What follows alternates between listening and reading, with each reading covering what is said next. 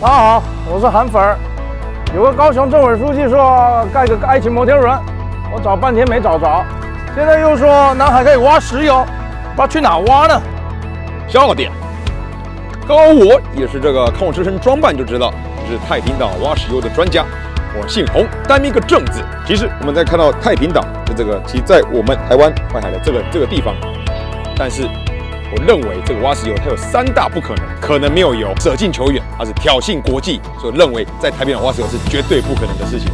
不是，我看我看我们电视台说这韩国瑜跟邱毅说可以挖呢。我都想学你的口音了，以下就来我为各位解释为什么是不可能挖的。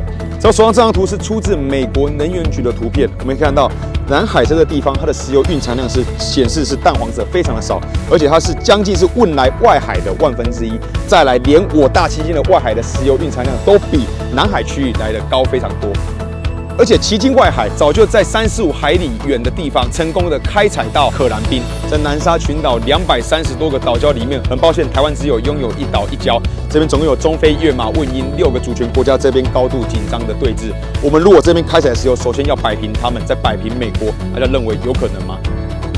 如果各位不相信的话，我手中有一张热腾腾的报道，是今年十一月二十四号刚出炉的。它上面写什么？他说太平岛挖石油未具未具有实际开采的可能性。早在三十七年前，中油就曾经在南海探探采过，将近四十年间都没有挖到过。如今又再次提出这样不切实际的证件，我认为韩韩岛还是早点回家洗洗睡吧。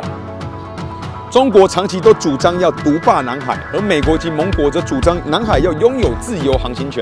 请各位观众朋友，你要选择中国还是选择美国及盟国呢？韩国瑜到降时，一直用一个经济表面来包装伊政治的企图。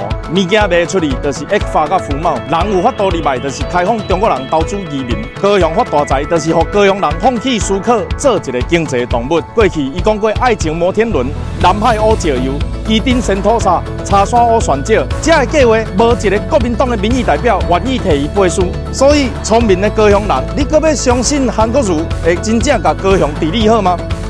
再位的是，那是韩国瑜你揣无工课。而且我邀请韩德恩来电影界发展，Thank you。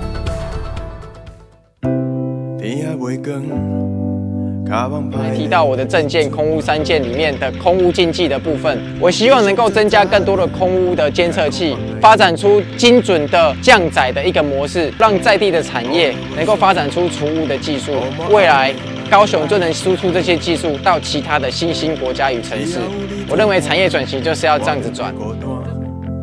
在现在政府修法的方向呢，是希望大众运输能够尽量的铺完整，然后私人载具的数量要慢慢下降。一个照顾人民的政府，应该要告诉机车业者应该怎么办，行人应该怎么办，机车使用者应该怎么办。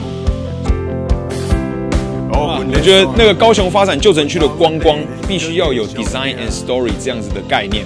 我们让上一辈的历史记忆能够传承，然后引入新一代的我们的创意。我认为这个是我们旗鼓岩国际观光最完整的面貌。其实，特色个旅游以及着深度的观光，一定是咱非常努力的这个目标。但是，伊背后相关键的因素，就是伫咧文化。要安怎伫咧本地的有的这个在地的文化顶管，咱会当注入更加多新的灵魂伫咧地方顶管。我想。除了演出的场地之外，未来也会有人才培育的中心。我们可以在这个地方有更多不同的想象，也可以让目前在外县市没有办法回来的人才，可以回到这个地方，我们共同来尝试更新、更好、更跨领域的一些演出。我认为，人民最大的敌人，从来都不是那些你我所讨厌的政客。而是你我内心对政治的冷漠，改变的权利从来就掌握在我们自己的手中。选票的意义不只是选出那些理想中的政治家，它同时也应该要去淘汰掉那些你我认为不适合的政客，让我们不再冷漠，告别家族的世袭政治。这一次，你有更好的选择。我是洪正。